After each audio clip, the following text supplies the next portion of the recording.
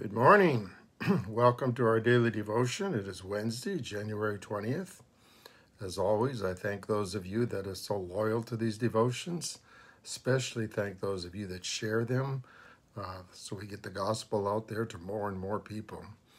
Um, morning, Serena. We're in the Lord's Prayer, uh, where, where Jesus teaches us how to pray. And we've already, morning, Marcy, and we've already looked at our Father in heaven, our Abba, our Daddy, hallowed be your name, where it's holy, holy, holy to be revered. Even though he's our daddy, we're still to respect and revere him mightily. Your kingdom come. Uh, his kingdom has come down into earth. God entered earth to show us what heaven is like. Uh, your will be done. Uh, it's His will, not our will. And when we pray, we need to pray according to His will. And now we come to uh, give us this day our daily bread. Now, what does that mean? Give us this day our daily bread. Notice that first I want you to notice this. Good morning, Marcy. Good morning, Gloria. Uh, I notice that Jesus teaches us to acknowledge God before we ever ask Him for anything. I mean, look at everything we just talked about now before we ask now for something for ourselves. Uh, we don't just start out right away asking for ourselves. We start out acknowledging who God is, how big God is, how mighty He is. Then we ask. Uh, yesterday, last night, with, with our impact video, we talked about how God knew knew you before you were born, had plans for you before you were born, even knew you before He created the world knew who you were going to be and what you were going to do before he even created the world. For, those of you that have children or grandchildren aren't married yet, God already, God already knows their children. Already knows their children, already knows, has plans for them. What a mighty God. So we acknowledge this God first before we ask for anything. Um, so, um, what, what, it says here in, in, in, Matthew 6 8, just prior to this, it says, um, For your Father knows what you need before you even ask Him. Still wants you to ask Him. It's like your child getting ready to ask you for something. Most times you already know what they're, what they're going to ask you for. You already know what they want before they even ask you. Well, that God knows, He knows everything before you even ask Him. He knows what, you, what you're going to ask, He knows what you need. Good morning, Liz. Good morning, Paul. Morning, John. Um, so Jesus teaches us just to ask for our daily bread or our daily substance. No, just give us today our daily bread. And, and, and daily. Notice daily doesn't say give us give us our bread for the rest of our lives. Just, just worry about today. God says there's you have enough things to worry about just for today. Don't don't worry about tomorrow. Just be concerned about today. So he said, just give us what we need today. And in Proverbs 30, verse 8, it says this It says, Give me neither poverty nor riches, but give me only my daily bread. Don't I don't want poverty, but I don't want riches either. I just want I just want daily substance, is what he's saying. And then in 1 Timothy 6, 6 through 10, he warns us about this. Says, but godliness with contentment is great gain. When you seek God and you're and you and you're wanting to become more like God and you're content with where you're at, with what you have, that's great gain. For we brought nothing into the world and we can take nothing out of it. But if we have food and clothing, we will be content with that. People who want to get rich fall into temptation and a trap and many foolish and harmful desires that plunge people into ruin and destruction. For the love of money is the root of all kinds of evil. Some people eager for money have wandered from the faith and pierced themselves with many griefs.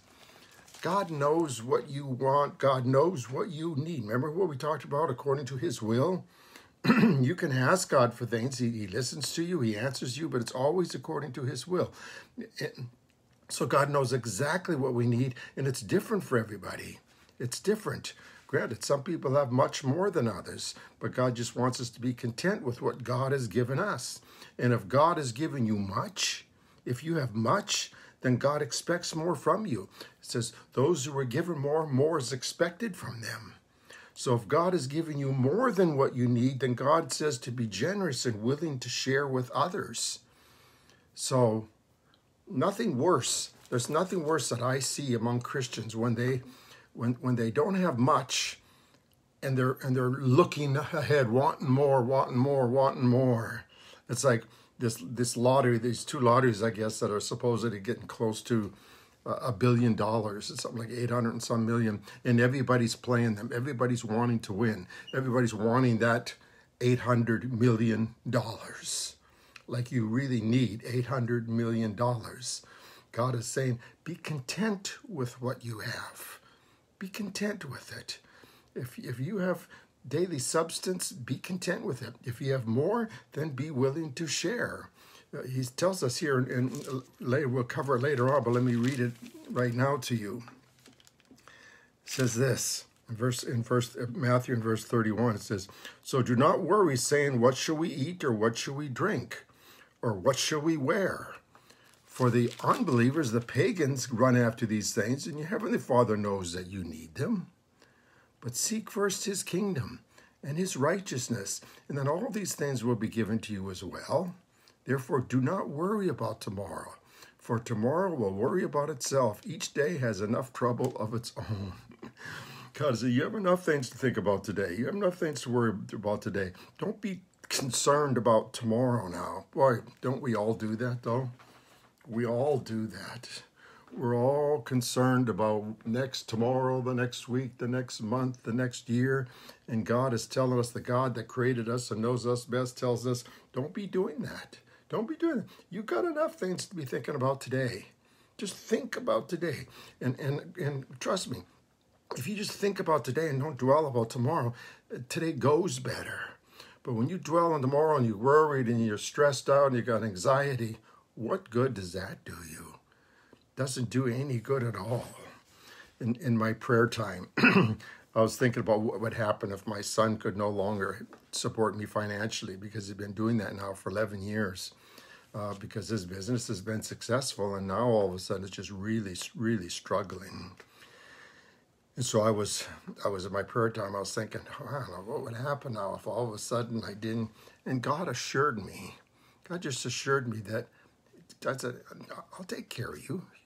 You'll be taken care of." what does it say? If if he takes care of the birds in the air, and if he if he makes flowers beautiful, it's kind of like are not we as humans more important than birds and flowers? He takes care of them. He's, no, I may not have all that I currently have, but I won't starve. I won't go homeless. I may not be able to go out to, to eat out at all. I may not be able to go to to spend money on whatever it's not like I do anyway, but going maybe even golfing. I, I don't know if I'll even be able to golf. I don't know that I'd be able to do that because that can be expensive. Uh, but it's not like I'm going to starve. It's not like I'm going to be out on the streets. So I would just have to learn to be content with my daily bread, with my daily substance. Now I've learned this. You, you know you know all that. You know this. I I don't have to tell you, but you see you know, movie stars, rock stars, athletes that are wealthy, that are extremely wealthy, uh, are they ever satisfied? They're always wanting more. They're always wanting to stay popular. They're, they're so afraid of growing old gracefully. They have everything that we dream of having, and yet I don't see them content. I don't see them that content. I can remember when I was in the police force, and they were they were having troubles there was a lot of stuff going on in, in the local bars and, and nightclubs. And so every shift we had to visit two different, in our district that we had for that night, we had to visit two, two of them just to show our presence in there.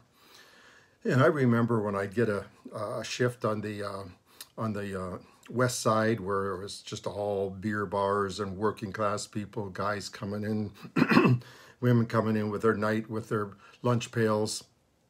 And and you'd walk in there and they're all laughing and having a great time and they see me walking in and oh let me buy you a drink. And it's like well no no can't drink on shift.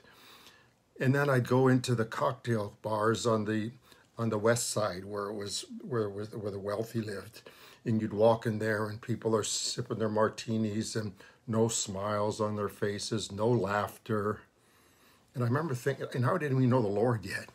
And I remember thinking to myself, God, this is an oxymoron.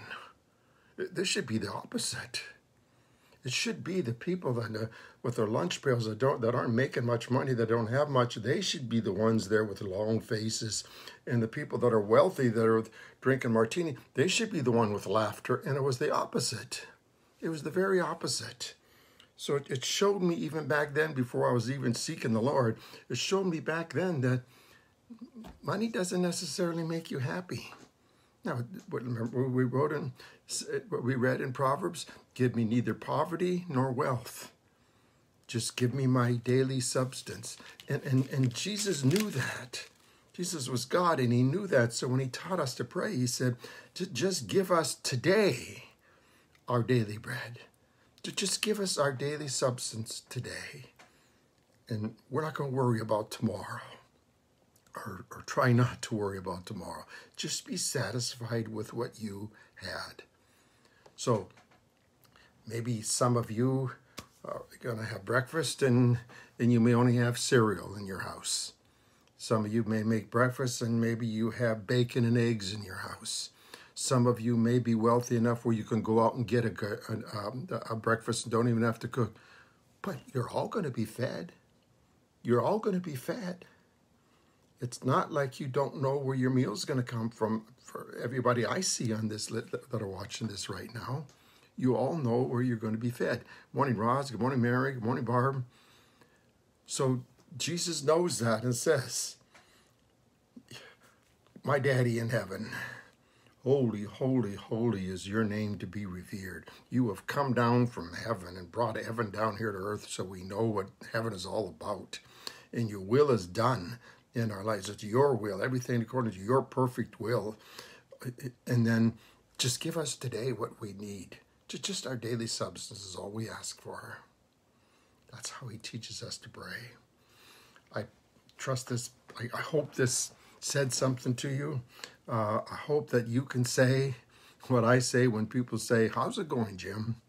You all know what I say. Life doesn't get any better when you seek first his kingdom, then he adds all those things to you. So seek first his kingdom. God bless you. Thanks for watching.